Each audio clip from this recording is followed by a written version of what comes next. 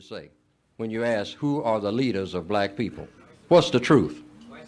Yes. All of the leaders of black people are white.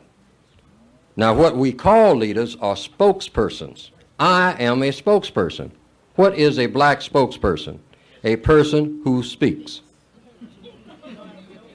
In other words, here's a mic, here's a podium, I walk around up here, and I stand here, and I speak. I don't produce anything. The clothes that I'm wearing and whatnot, they have a source. You know where it is. Okay? So I'm just a spokesperson. And there are a lot of people who wear the tag of leader just because they are speaking. You see them on TV all the time. They are spokespersons. What's the requirement of a leader? First of all, you got to be able to protect your followers. I don't know of any black person on earth that can do that. Now, when I say protect your followers, I mean from the white supremacists. That's the only time you're a black leader. That a black person who is my leader, I get in trouble, I get on the phone. All I should have is that leader's phone number and say, hey, look, maximum leader. I'm down here in, on La Brea and I'm in trouble with the white folks. Tell me where you are again, and I tell him.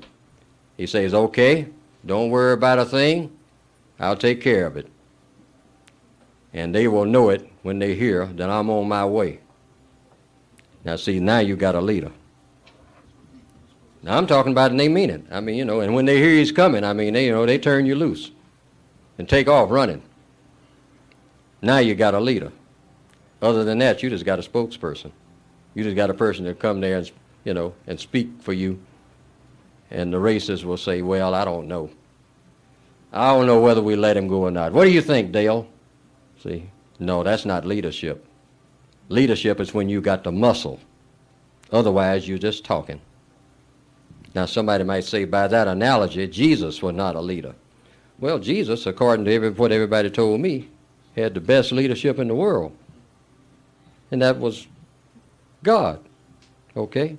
So you can't argue against that one the creator of the universe. But see, I don't see no black person that is supposed to have that kind of muscle. Not even enough muscle to get white people, you know, to back off. I mean, where they can't question it. See, there's no negotiating. See, because the white supremacists don't negotiate. They don't have to negotiate. They just say, hey, move. Like I just want to say this about, you know, gangs and all like that. That's something I try to impart to young and old gang leaders. I say, now you're supposed to be a gang leader. You ain't even got a good medic. Right. One of your guys gets shot, you got to call for public service. Now, what kind of leadership is that? You're supposed to be the baddest dude out here. All right?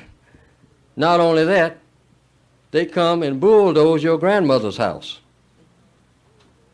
And you said it was your turf.